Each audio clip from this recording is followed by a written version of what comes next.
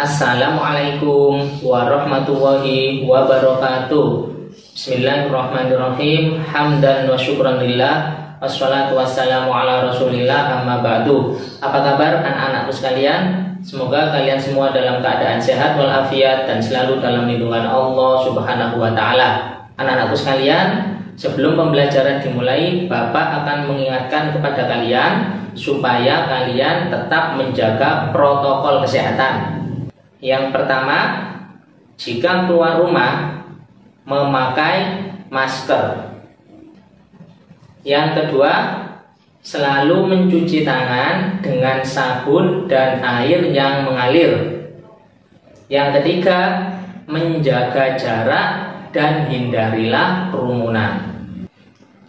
Baiklah anak-anak, untuk mengawali pembelajaran kali ini, marilah kita mulai dengan membaca doa dan dilanjutkan dengan membaca Pancasila bersama-sama.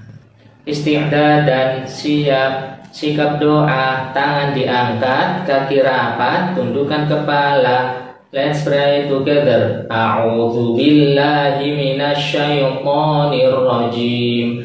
Bismillahirrahmanirrahim.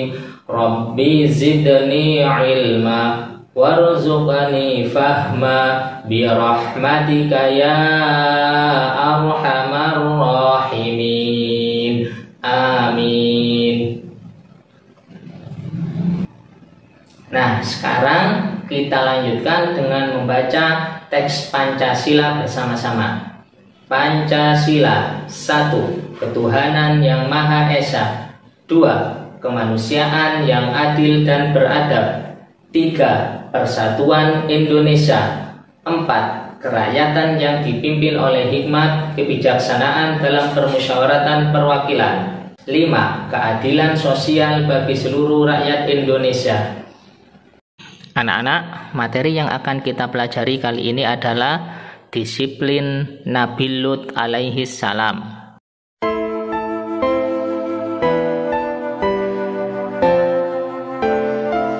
Allah Subhanahu wa taala menciptakan manusia terdiri atas lelaki dan perempuan.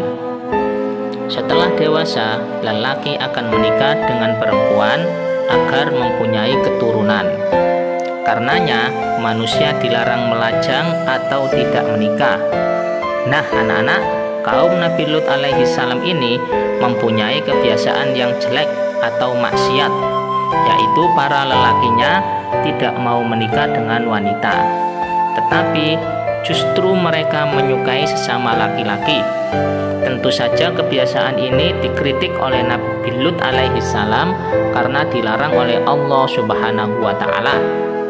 Maksiat lainnya, mereka melakukan kejahatan, merampok, membunuh dan menganiaya.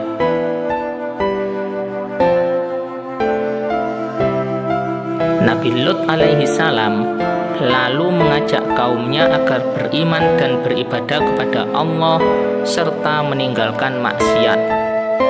Akan tetapi, kaum Nabi Lut alaihi salam justru tidak suka mendengar dakwah dan nasihat-nasihat dari Nabi Lut alaihi salam.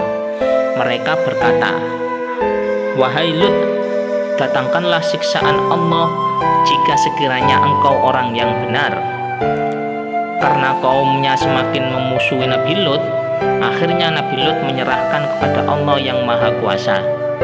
Ya Tuhanku, tolonglah aku dengan menimpakan azab atas kaum yang berbuat kerusakan itu.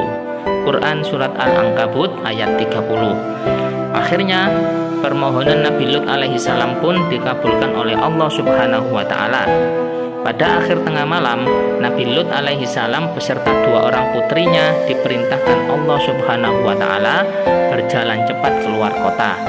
Kemudian ketika fajar menyingsing, bergetarlah dengan dahsyat bumi dan seisinya. Getaran itu lebih hebat dan kuat daripada gempa bumi dan juga diiringi dengan angin yang kencang serta hujan batu yang menghancurkan kota beserta seluruh kaum Nabi Lut yang durhaka.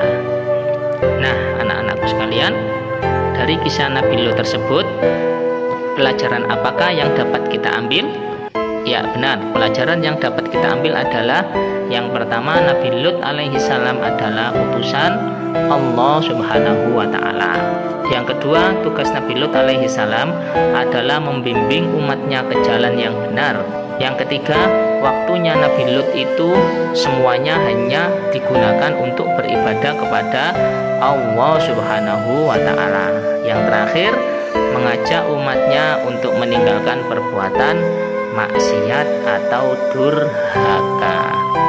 Nah, anak-anak, setelah kalian menyaksikan video pembelajaran ini, kalian baca buku PAI bab disiplin Nabi Lut, kemudian kalian kerjakan tugas yang diberikan oleh Bapak Guru. Alhamdulillah, pembelajaran kali ini sudah selesai. Semoga apa yang kita pelajari dapat bermanfaat bagi kita semua dan mendapatkan ridho dari Allah Subhanahu wa taala. Marilah kita tutup pembelajaran kali ini dengan membaca hamdalah dan doa penutup majelis. Alhamdulillahirrabbilalamin Subhanakallahumma wa bihamdika asyhadu an la ilaha illa anta astaghfiruka wa atubu ilaik. Assalamualaikum warahmatullahi wabarakatuh.